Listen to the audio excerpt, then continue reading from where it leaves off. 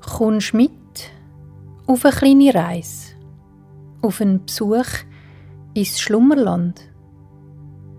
Heute gehen der Flick und Fanian im Meer schwimmen und sie tauchen ab bis auf den Meeresgrund. Sie erkunden die Unterwasserwelt vom Schlummerland und treffen dort auf ein Volk, wo jeden Abend für Tiere im Meer Musik macht. Also, dann machst du jetzt so bequem, wie es nur geht.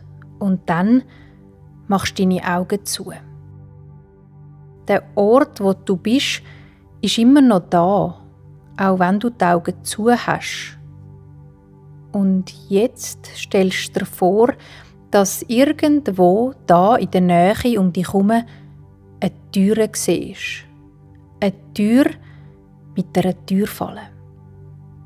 Wenn du jetzt die Türfalle abdruckst und durch die Türen durchgehst, bist du da, im schönsten Land, das es gibt. Im Schlummerland.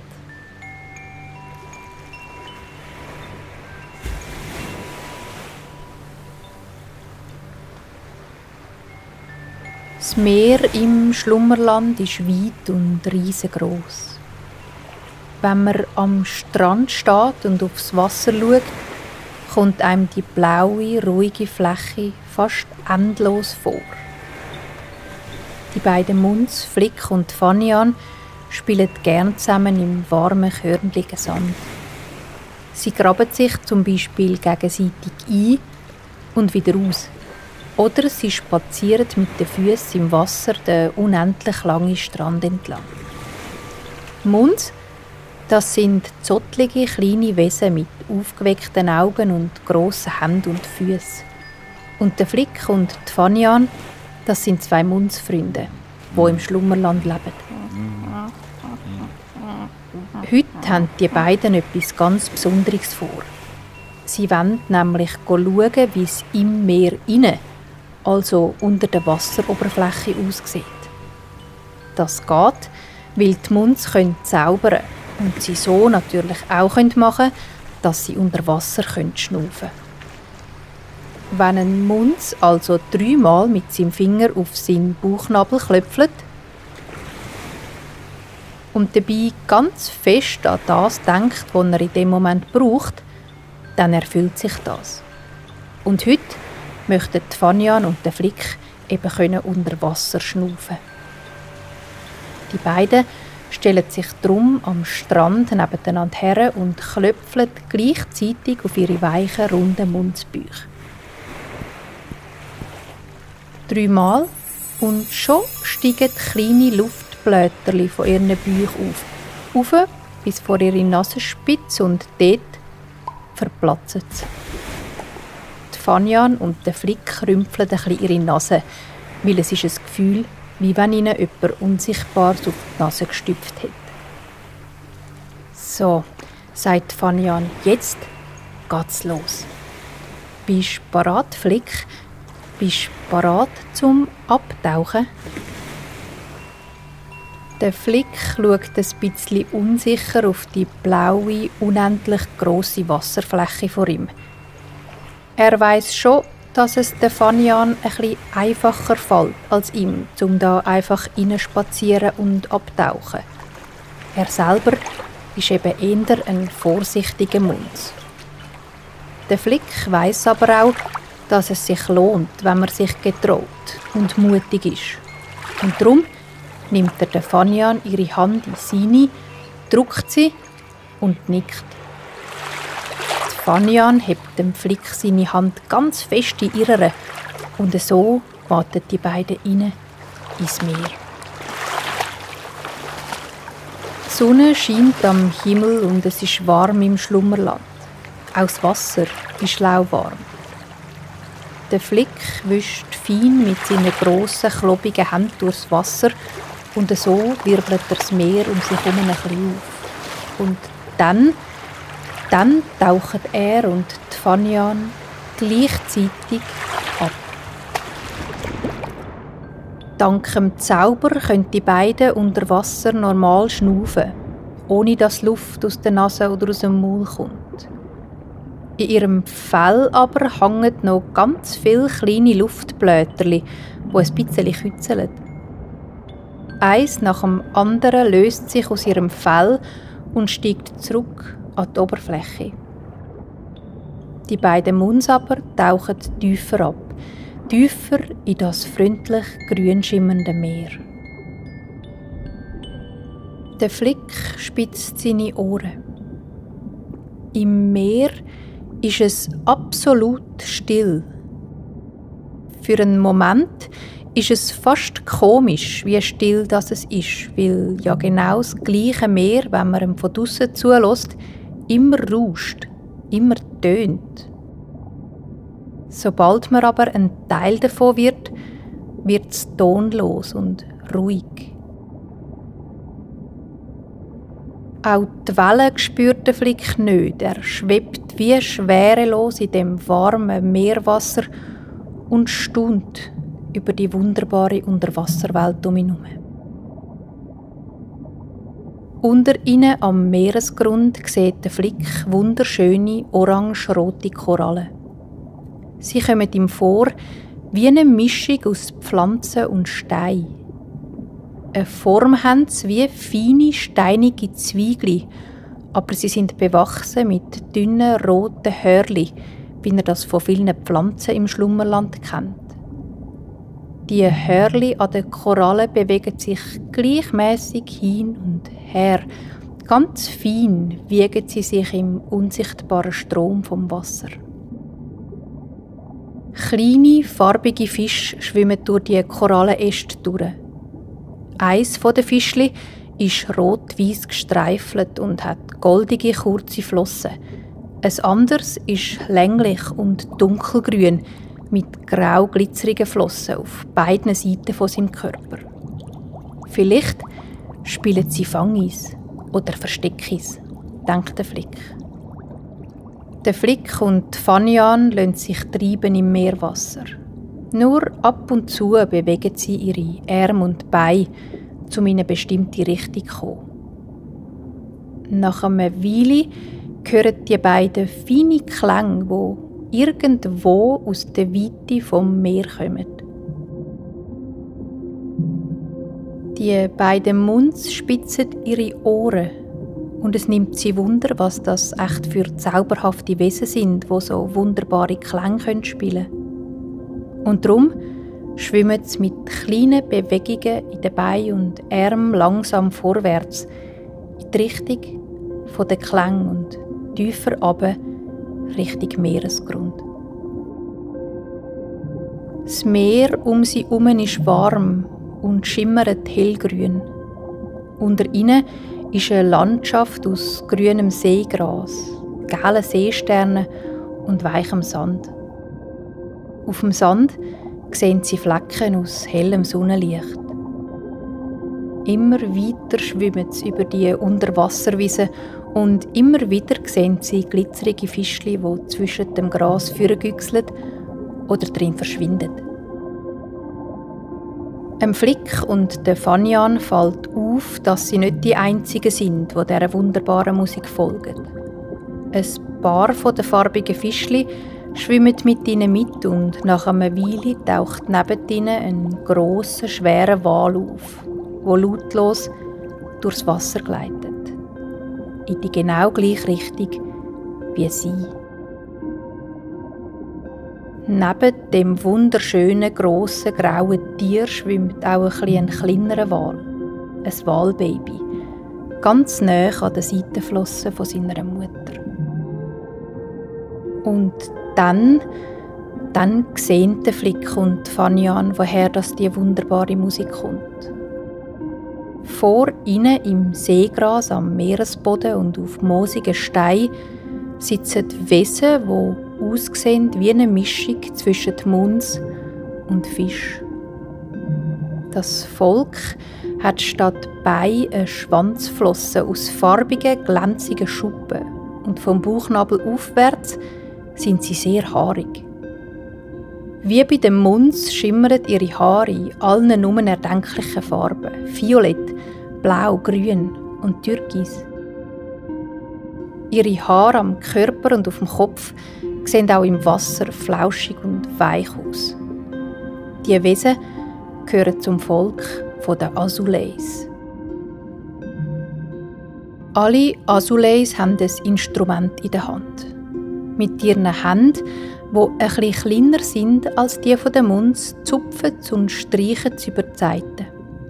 Gedanken verloren und mit zuen Augen spielen sie ihre zarte Musik.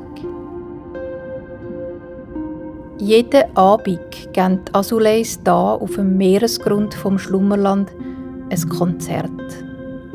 Alle Lebewesen sind eingeladen. Alle dürfen zuhören und sich von diesen Klängen in den Schlaf wiegen lassen.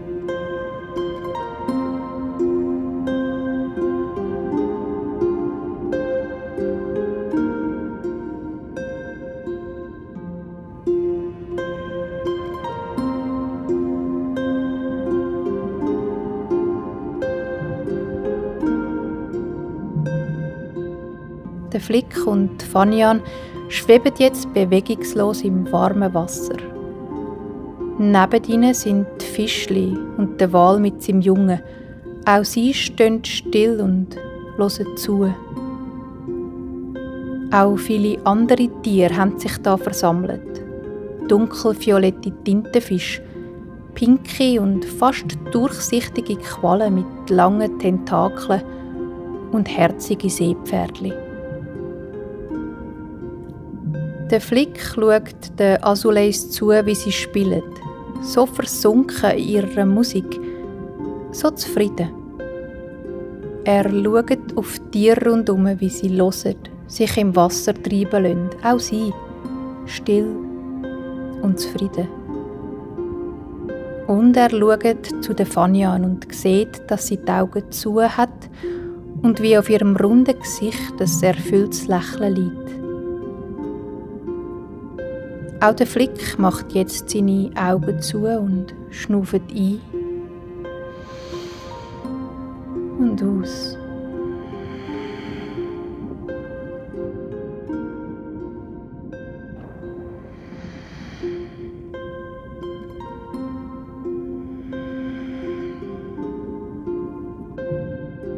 Mit zuen Augen sieht er zwar nicht mehr, wer um ihn herum ist, aber er spürt dafür umso besser, was in ihm innen passiert.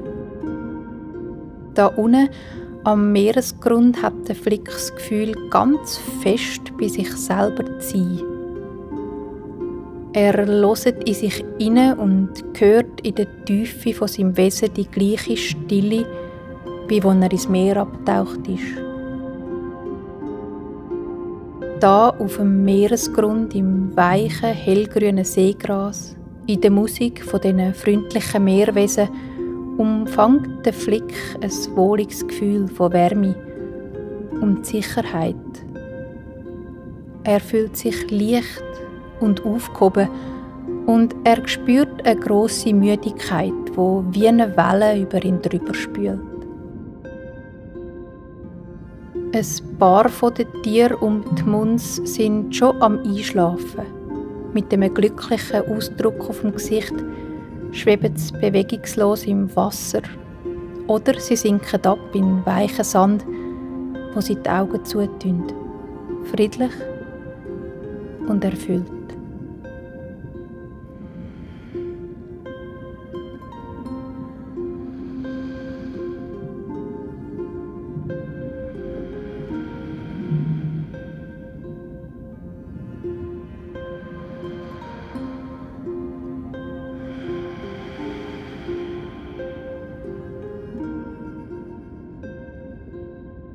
Gleich wie die Tiere machen es auch der Flick und die Fanian. Mit einem tiefen Ausschnaufen sinken die beiden ein bisschen weiter nach unten, bis sie den weichen, hellen Sand berühren.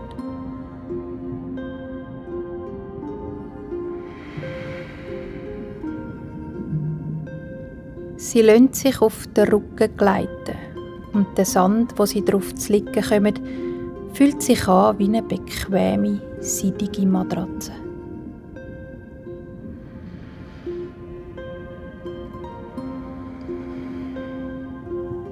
Der Flick blinzelt und sieht, wie ein Asulei, wo ganz in der Nähe vom Flick und der Fanyan am Spielen ist, sie anlächelt. Der Flick lächelt zurück. Das Meerwesen senkt seinen Kopf ein bisschen auf die Brust, legt seine Hand auf die Seite und hört auf spielen. Ganz sanft und mit einer langsamen Bewegung setzt er sein Instrument neben sich ab und lehnt es an einen moosbewachsenen Stein. Dann buckt sich das Wesen und liest eine grüne, weiche Decke vom sandigen Boden auf. Der Azulei heißt Isikiel und er wohnt da am Meeresgrund vom Schlummerland. Jeden Abend spielt der Isikiel mit seinen Verwandten und Freundinnen das wunderbare Einschlafkonzert für alle Wesen, die im Meer leben. In der langen Zeit, wo er das macht, hat er auch schon ein paar Muns zu Besuch gehabt und er weiß, dass sie gern zugedeckt werden beim Schlafen. Der Isikiel schwimmt drum ein näher und breitet dann seine Decke über den beiden Munds aus. Sie ist ganz fein gewoben aus Seegras und Moos und verziert mit kleinen sternförmigen Steinchen. Der Flick nickt dem Isigiel zum Dank zu und in seinem Herz spürt er, dass sie irgendwie miteinander verwandt sind. So wie alle Muns miteinander verwandt sind, so sind auch der Isigiel und der Flick und Fanian, die Azuleis und die Muns miteinander verwandt. Sie sind gleich, auch wenn sie an verschiedenen Orten, in verschiedenen Welten leben der Issigiel da unten und sie oben an Land. Sie sind miteinander verbunden, wie alles, was lebt im Schlummerland. Langsam schwimmt der Issigiel zurück an seinen Platz im Orchester und sitzt ab. Dann nimmt er sein Instrument wieder in die Hand und spielt weiter. Er spielt für alles, wo schlaft, da auf dem Meeresgrund, für die grossen Walfisch, für die farbigen kleinen Fischli, für die Seepferdli und Tintenfisch. Und er spielt für den Flick und für die Fanian, die beiden Munds, wo weich bettet im warmen Sand einschlafen. Eng beieinander und wohlig eingekuschelt im Isigiel seiner Decke umgeben vom Meerwasser.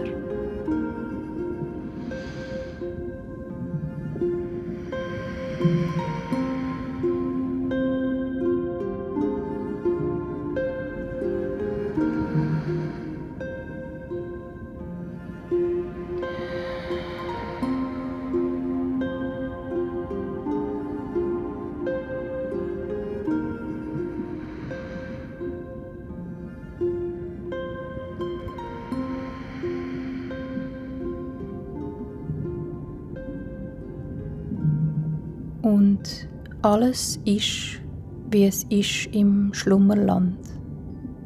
Der Flick und Fanian schlafen, tief und fest. Unter ihnen und über ihnen ist alles weich und still. Nur ganz ein feines und langsames Schnaufen kann man noch hören. Ein und aus. sí